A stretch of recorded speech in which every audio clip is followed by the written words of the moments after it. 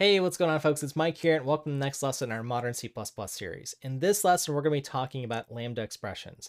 Lambda expressions are something that was added in Modern C++ 11. So I really think of this as a feature that defined when C++ moved to this modern stage. So with that said, let me go ahead and show you what a lambda expression is if you're not familiar with it, starting on our favorite website, CPP Reference. So go ahead in the top right corner and search for lambda, and then you'll go ahead and find the first result, and it'll bring you to the lambda page here. Now, a lambda is something that constructs a closure. Okay, what is that? Well, we get a little definition here that a closure is an unnamed function, but I want you to continue an unnamed function object. And that's important in C++. I'm going to go ahead and zoom in on it so it's right there in front of you. Because we've learned about function objects previously, which are called uh, pop quiz for you, functors, so hopefully you paused and remember that. Um, but that's the idea in C++. So unnamed function object and they're capable of capturing variables in scope. Okay, so we got to talk about what some of these ideas are. At the least, what I want to do in this video is just break down this idea of unnamed function object, and then maybe we'll touch on this idea of scope in this video or the next one, which you can look out for. Let's just go ahead and look at the syntax for lambda here. And it's going to look a little bit weird if you're used to just programming in C or old style C++, and that you're going to notice that, well, to create one of these function objects or unnamed uh, functions, as they're sometimes abbreviated, we have brackets, we have parameters, and then we have the body of the function. And then we have some alternative things that we can specify depending on what we want to do with our Lambda. Again, they're very powerful in making use of a lot of features of modern C++. And that, in fact, is why we sort of had to wait till C++11 because, well, we needed a lot of these other features to be well thought out and sort of implemented so that we could take advantage of Lambda. So things like auto, for instance, are going to be really important for us. All right, with that said, let's go ahead and just look at an example where we can use a Lambda function and just sort of understand what's going on. And then we'll build on that in future lessons in this series. So make sure you subscribe for that. But in order to do that, where lambdas are really useful is if we can use some different functions from the algorithm library. So over here, I've switched uh, pages to CPP reference to standard for each. And this is essentially what a range-based for loop is, but it's going to allow us to sort of see how lambdas are used. So just a heads up, I'm going to start using more from the algorithm library because it can help us make our code a little bit more cleaner, and I think it's also just fun to learn. All right, with that said, let's get to lambdas here. And what I've got here, I'll go ahead and compile this example and run it. Again, making sure we're using at least C++ 11 for these features. I've got a vector here with a, a list initializer to set up its elements, and then I'm using a range-based for loop. You could add an ampersand if you want to do this by reference, just to be a little bit more efficient, uh, but this is okay for the demo, and it's just going to print out the elements. Okay, so let's go ahead and try this with this new construct known as for each. So I'm going to go ahead and get rid of um, that loop there, or rather, let me leave it in just so you can see how it uh, compares. And let's go ahead and use standard for each. And this itself isn't really a new feature for each. It's been around since at least C++ pre-98, uh, but it takes an iterator, so the start of our vector, the end of our vector, and then some function here. Okay, so now we need to decide what action are we going to do for each of our elements in this vector here, starting from the beginning all the way to the ending here. And this is where our lambda can be useful. And just to uh, help us out here, let's go ahead and copy in the uh, sort of specification here so we can remember what our syntax is without having to switch the page too many times. And I'll go ahead and just put a comment here and paste that in. And we could go ahead and see here. Now you'll notice there are some uh, optional things here that we can do with our, our lambdas. Uh, let's go ahead and just remove those for now and see the basic syntax here. Okay, so we've got something known as the capture if we want to capture state. I'll talk about that uh, perhaps later. Params, and then the body here. Let's just start with the basics here. Okay, so what I'm going to go ahead and do here as our third parameter, what I want to do is just in line in this function, put in brackets to say, hey, this is a new unnamed function object. And the parameters, well, let's go ahead and what's the input going to be? n, some value, because that's what I'm reading in, one integer at a time here. And what am I going to do with that result? The body here, let's just go ahead and uh, output whatever that value is with a uh, comma, one character, And let's just go ahead and leave it as that. And I've got to be a little bit careful here. Make sure I include a semicolon, close out my curly braces, and then a semicolon to close out this for each statement here. And just to make it a little bit more clear, just so you can see this third parameter, let me go ahead and move this on its own line here, just so you can see. Okay, so this itself is the lambda, or the uh, unnamed uh, function object here. And let me make sure I did one more thing here, just close off my parentheses so you can see it all working here. Okay, so let's go ahead and compile this program, make sure it compiles and I didn't make any mistakes. Looks good. And I'll run it and voila, we'll see the exact same thing here. Okay, now why was this interesting? Why was this a powerful idea? Why was this better than doing things like this? Well, for one, what you're going to find here is that having these sort of function objects here, these lambdas, they tend to be very nice and composable. And also I don't have to sort of name a bunch of functions or define a function to just print out an element here. Now I could, and I'll show you how to do that in a moment, but it's kind of nice here. And really what these are going to be about is about composing programs using these small little functions as building blocks. Again, this is going to be sort of familiar to folks doing more functional style programming versus just writing loops everywhere and looping through our data. So I would argue that this sort of reads nicely, or as we start using more of the algorithm library, maybe this will be more of a sell for you. All right, but with that said, let's go ahead and say, hey, Mike, I really actually did want to uh, use this or write this as a function somewhere. And you certainly could, right? I could go ahead and write this function here. Let me go ahead and write it. It doesn't return anything, void. I'm just going to call it func. It takes in a value here. And all it did was print something out here. Uh, the value n, a uh, comma here, and that was it here. Okay, so for these things in algorithm, I could actually and again, just to uh, compare here, let's just go ahead and get rid of our lambda function. So I'm just going to comment it out for now. And let's make this a little bit bigger here. And let's just replace this with uh, func here. Okay. So let's go ahead and try to recompile this. It compiles and it does the exact same thing.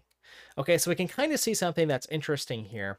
For where I use this uh, lambda function here, it's essentially replaceable with anywhere where I had a function pointer. Now we'll want to see if that's completely true when we talk about captures and these types of things, but uh, I can essentially just do this substitution. So again, you can ask yourself, did I want to create this function here or could I have just put it in line here?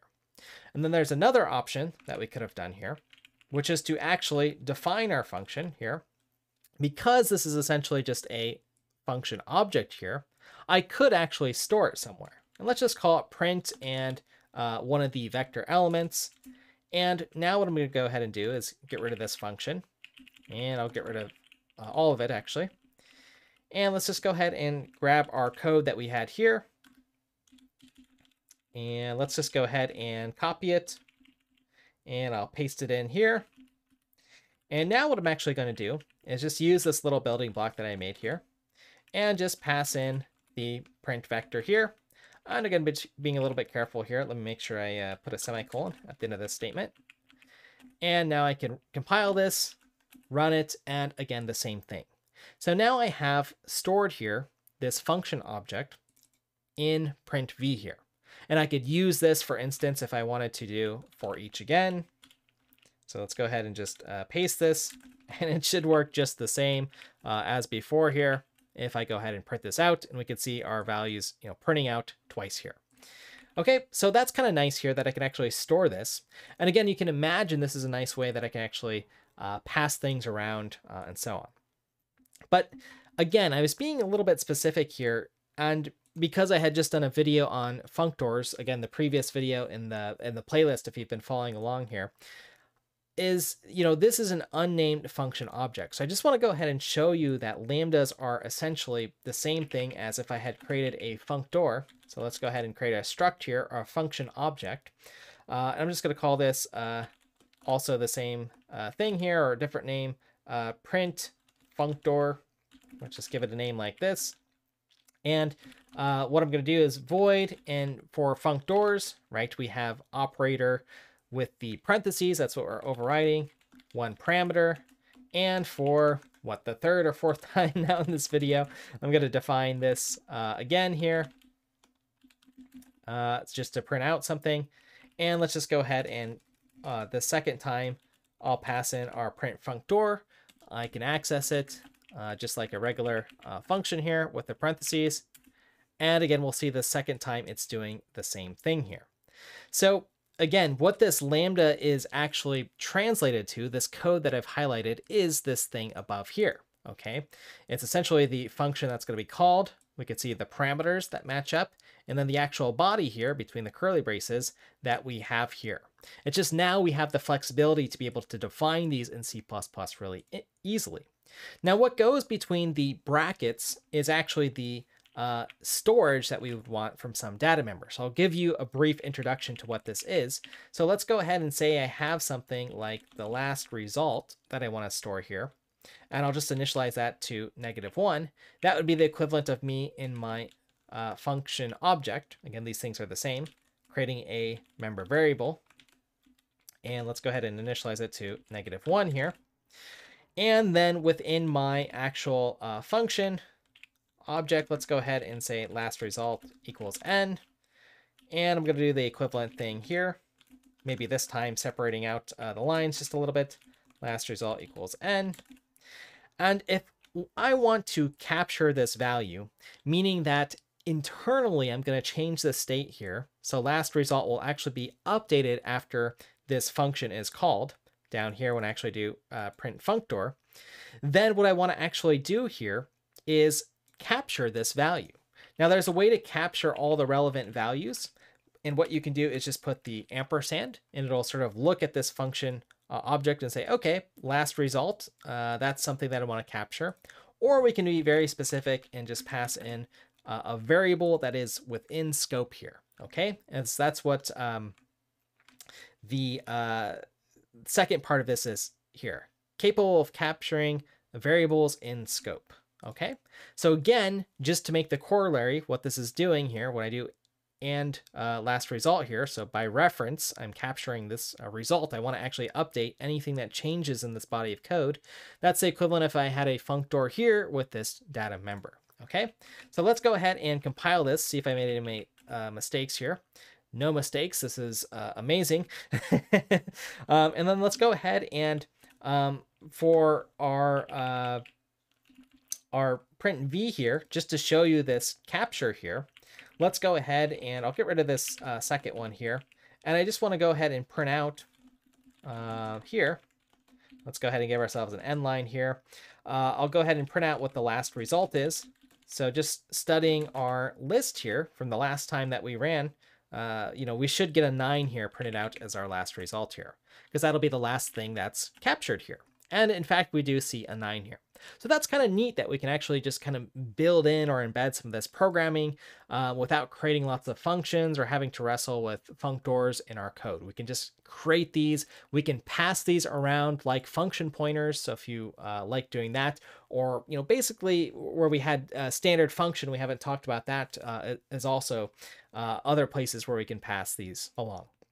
Now, the last thing that I'll say here is this auto, again, what this is creating is essentially a a function um, object here, and it's deducing automatically the things like the return type. Now, this doesn't have a return type, but you can, and sometimes syntactically, you will see uh, folks put an arrow here, and this one would just be void here. So that's the uh, trailing return type here. You don't have to put that there. It's sort of uh, implicit, but some folks like doing that. Again, stylistically, and it matches what you'll see in uh, functional programming languages very often. All right, so with that said, we now know about uh, for each, which is a new part of algorithm. We now know what a lambda function is, and I think it's easiest just to sort of focus on this part right now. We know we can have parameters, just like a normal function. We've got a body of code, and then we've got some way to capture information outside of the function, because again, it's a unnamed function object, which is a functor. So we have these sort of uh, ability to capture uh, objects. This is essentially what C++, the, the compilers uh, implementing a lambda as, uh, something that we already have known as a functor. All right, so I'll go ahead and leave that there for a moment just so you can look at it or if you want to take a screenshot. Uh, but I hope that was useful. I hope this was a fun introduction to Lambdas for you. They're really a powerful tool and really understanding Lambdas helps you understand a lot of the language or at least kind of doing a deep dive, which is pretty fun. So with that said, folks, we're going to talk more about Lambdas and the captures in future videos. So make sure you subscribe so you don't miss those. And thanks as always for your time and attention. And I'll look forward to seeing you in the next lesson.